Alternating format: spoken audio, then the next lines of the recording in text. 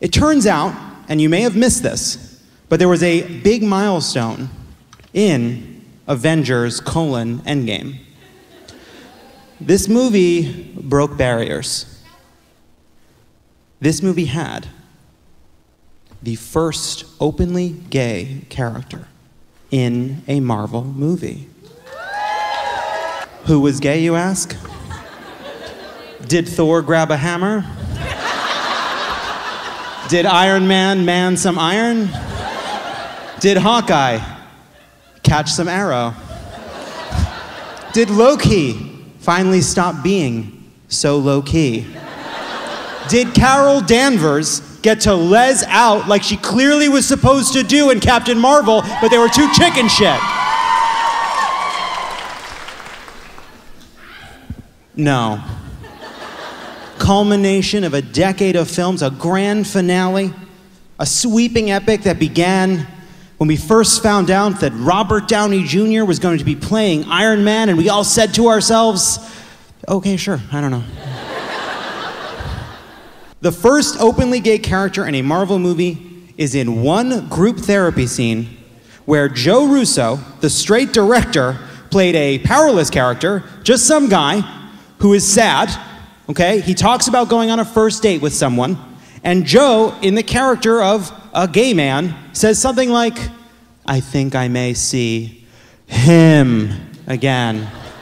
And the, the clouds part, and the trumpets play, and we have learned that this insignificant, unremarkable, basically nameless character is the first openly gay character in a Marvel movie because he went on a same sex date off screen. I want to read a quote from Joe Russo about this, where he was asked by the Hollywood Reporter about the scene. He said, Representation is really important to us in these movies. And I think the thing we are happiest most about Marvel moving forward is it's becoming incredibly diverse. We've done four of these films, and it was incredibly important to us. It was incredibly important to us to have a gay character represented somewhere in one of these four movies. We felt so strongly about it that I wanted to play the character in the film. Thank you so much. Maybe there was supposed to be a gay superhero but the studio stopped them. Maybe there was supposed to be a more substantial gay character, but it was blocked. Maybe it is incredibly important to them, but this scene is not proof of that. To me, it is proof of the opposite of that.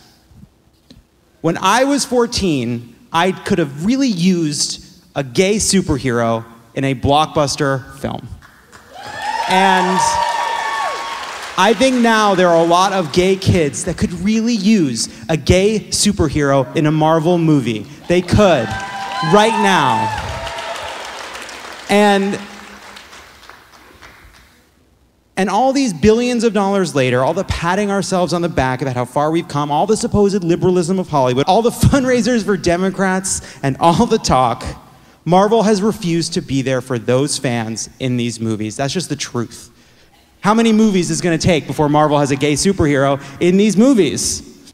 To me, this first openly gay character in a Marvel movie is a sign of how far we have to go, how cowardly corporations can be, and how dangerous it is when so few of them control so much of the media we consume. It is 2019, and we will take to the streets if we must, but we will say it.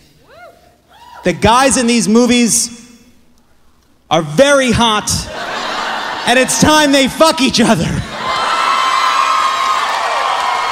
It is a chant I have led, led before. Let them fuck. Let them fuck. Let them fuck. Let them fuck. I got a thousand Texans calling for gay sex in a Marvel movie. America is ready.